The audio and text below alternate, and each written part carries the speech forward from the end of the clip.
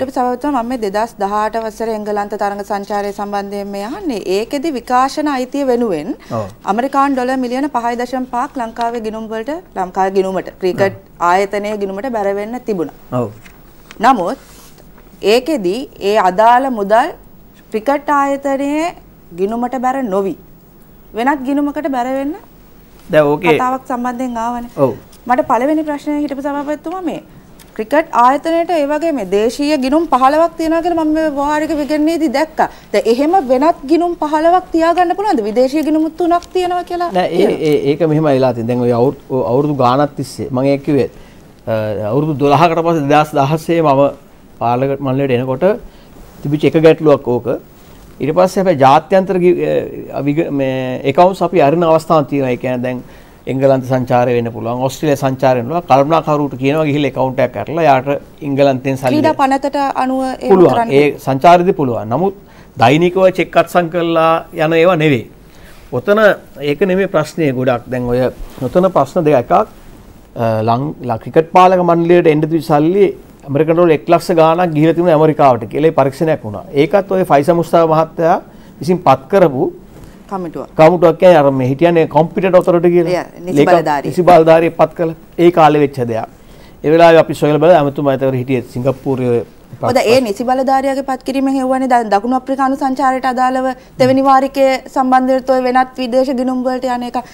එහෙම මූල්‍ය විනයක් නැතුව හිටපු සභාපතිතුමා ඔබතුමා මම- 2018 වසරේදී ඔබතුමාටත් බැහැර වෙන්න බෑනේ මේ චෝදනාවෙන්. නෑ ඒ වෙලාව හරි අපි මෙහෙම කියමු ඔබතුමාට මම- මම මාර්තු මාසේ මගේ කාලය ඉවරයි ඊට පස්සේ තමයි සිද්ධ වෙන්නේ. හරි. අපි අපි මෙහෙම හිතමුකෝ. ඔබතුමාට සමාගමක් තියෙනවා. එතකොට ඒ සමාගමටම එන්න තියෙන අතිවිශාල මුදලක් කිසිම බලධාරියෙක්ගේ නොදැනුවත්භාවයෙන් වෙනත් ගිණුමකට යන්න විදියක් නැහැනේ. දැන් ඔය ඕක මම ආයෙත් පැහැදිලිව කියනවා. 2018 මාර්තු 30කින් පස්සේ මගේ කාල සීමාව ඉවර වෙනවා. මැයි මාසෙන් පස්සේ ජූනි මාසෙ දේ සිද්ධ වෙන්නේ. ඒ සිද්ධ වෙලා තියෙන්නේ ක්‍රිකට් පාලක මණ්ඩලයේ උපදෙස් මත හොර account එකකට ගියයි කියලා තමයි අපිට පළවෙනිම වාර්තාව දැනගන්න ලැබුණේ මාධ්‍ය. සොයා බැලුවම සෝනි ආයතනයෙන් එන්න ඕන සල්ලි අපේ ලංකාවට ඒක ගිහිලා තුනේ ඇමරිකාවේ ගිණුමට කියලා. සෝනි ආයතනයට බැහැ කිසිසේත්ම ක්‍රිකට් පාලක මණ්ඩලයේ ව්‍යවස්ථානුකූලව අපි පා- අ, වෙන් කරලා account එකට ඇරෙන්න වෙන කිසි account එකකට සල්ලි යවන්න දෙන්නේ නැහැ. එහෙනම් අපි ව්‍ය- ව්‍යවස්ථාවේ තියෙනවා කොහොමද බැංක් account එක අරින්නේ කියලා. හැබැයි ඒ ආයතනේ විමසලා තියෙනවා නේද මේ මේ ලංකාවේ හිටපු ඒ අවස්ථාවේදී හිටපු බලධාරියාගේ මේක නෑ, මේ වෙනත් ගිණුමකට දාන්න කියලා තියෙනවා මේ කරාට කමක් නැද්ද කියන එක නෑ සම්බන්ධයෙන්. ඒ ඒ ඒගොල්ලෝනේ කියන්නේ සෝනියකට ඕන දෙයක් කියන්න පුළුවන්. හැබැයි සෝනියක මොනවා කිව්වත් සෝනියක බැඳිලා ඉන්නවා ඒ සල්ලි අපිට දෙන්න. මොකද සෝනි සෝනියක කි- ඇමරිකා account එකට යවුවා කියලා කියනවා නම් එයාට එක්කෝ ඇස්ටිඩි සිල්ල මහත්තයාගේ අත්සනක් වෙන්න ඕනේ නැත්නම් පාලක මණ්ඩලයේ සභාපති හරි නිසි බලධාරියා අ, අත්සන් කරන්න ඕනේ. එහෙම නිකන් ඒගොල්ලන්ට මේ වගේ ලොකු මුදලක් ආයතනයක් අවුරුදු 10ක් තිස්සේ ගනුදෙනු කරපු account එකක් වෙනස් වෙනවා නම් ඒක විශාල ගැටලුවක්නේ. ඒ නිසා එතනත් අපිට දැන් තියෙන තොරතුරු අනුව සෝනි ආයතනයේ අභ්‍යන්තර සොරකමක් වෙලා තියෙනවා. ඒ සෝනි ආයතනයේ කට්ටියත් දැන් වෙනස් කිරීමක් කළ දෙන පරිපාලන නිසා අනිවාර්යයෙන් ඔබතුමා කියන අපිට ලැබෙන්න තිබුණ මුදල් වලින් එතන හොරකමක් සිද්ධ වෙලා තියෙනවා කියන්නේ. සෝනි ආයතනයේත් දැන් සෝනි ආයතනයේ මූල්‍ය අංශයෙන් සල්ලි එවන්නේ. ඒගොල්ලන්ගේත් කොම්පැනි හොරකම් කරලා ඉන්න පුළුවන්නේ. ඉතින් ඒක අපිට අදාළ නැහැ. අපි අනිවාර්යෙන් මේ සල්ලි අපේ රටට ලබා ගන්න ඕනේ. ඒ ඒගොල්ලන්ගේ වරද. ඒගොල්ලන් කිසිසේත් කියන්න බෑ මේ අපි කියපු ඉඳලා ABC එකට ඒතර යවුවොත්- මෙහෙ මෙහෙන් දැන් ක- කි- කිසියම් පුද්ගලෙක් කිසියම් බලදාද කිසිම කෙනෙක් කියන්නේ නැතුව මේ අදාළ ආයතනය ගිහිල්ලා වෙන ගිණුමකට දාන්නේ නැහනේ. මෙහෙන් කවුරු හරි කෙනෙක් උපදෙස් දීලා තියෙන්න ඕනේ දැන් මෙහි අපේ තියෙන සොයාගෙන තියෙන විදියට දැන් අවුරුදු දෙකක් තුනක් මේ පරීක්ෂණ යනවා. අද වෙනකන් කිසිම කෙනෙක් ලංකාවේ සම්බන්ධයි කියලා CID එකේ හරි පොලිසියෙන් හරි කියන්නේ නැහැ. දැන් සොයාගෙන තියෙනවා මේ account එකකට ගිහිල්ලා තියෙනවා කියලා ඇමරිකාවේ. ඉතින් ඒකට අපේ අයගෙන් උපදෙසක් ගියයි කියලා සනාථ වෙලා නැහැ. ඒ කියන්නේ ක්‍රිකට් ආයතනයේ සම්බන්ධයක් නැතුවද මේ සල්ලි එහාට මෙහාට ගිහිලා තියෙන තමයි. ලංකාවට එන්න තියෙන සල්ලි සෝනි ආයතනෙන් එවලා නැහැ.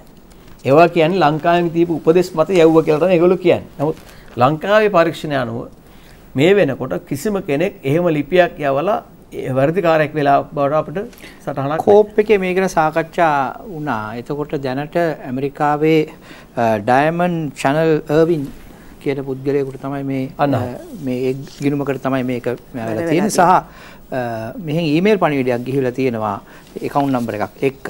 නමුත් ඊට පස්සේ ඒ සම්බන්ධයෙන් මූල්‍ය පරිපාලකවලයා අත්අඩංගුවට කරගෙන රක්ෂිත බන්ධනාගාරය කරලා තිබුණා. නමුත් මේ සම්බන්ධයෙන් තාම කිසිම විසඳුමක් නැහැ කියලා ඔබතුමා කියනවා. මොකද මේක අ, කියන්නේ මේ- මේක ඊමේල් පණිවිඩ හුමාරලා තියෙනවා. නමුත් මේක හැක් කරා කියලා තවත් කාරණාවක් තියෙනවා. ඔවුන් ඒ අවස්ථාවේදී හැක් කිරීම සම්බන්ධයෙන් නිවේදනයක් නිකුත් කරලා තිබුණානේ මේ ක්‍රිකට් ආයතන එහෙම සිද්ධියක් සිද්ධ වෙලා නැහැ හැක් කිරීමක් ඔය කිසිසේත්ම සිද්ධ වෙලා නැහැ මේ ඊමේල් එළියට එීම සම්බන්ධයෙන් කියන්නේ. අපිට ඒක අපැහැදිලි මම මම කියන්න ඕන පැහැදිලිවම මේ මුදල් සෝනි ආයතනය අපිට ගෙවන්න ඕනේ එක ලංකාවේ අභ්‍යන්තරව කෙනෙක් මේකට සම්බන්ධ නම් එහෙනම් ඒ සියලු දෙනාම අත්හිටවන්න ඕනේ. ඒ කියන්නේ කම්පියුටර් අංශයක් කෙනෙක් අත්හිටවන්න නැතුව මුදල් අංශයක් කෙනෙක් විතරක් අත්හිටවනවා නම් ඒකට සම්බන්ධ තව සිය- එහෙම නැතුව ඒ ක්‍රියාදාමයක් ගැනත් අපැහැදිලි. හැබැයි ඉතින් මම ඒකට පාලක මණ්ඩලෙ හිටියේ නෑ.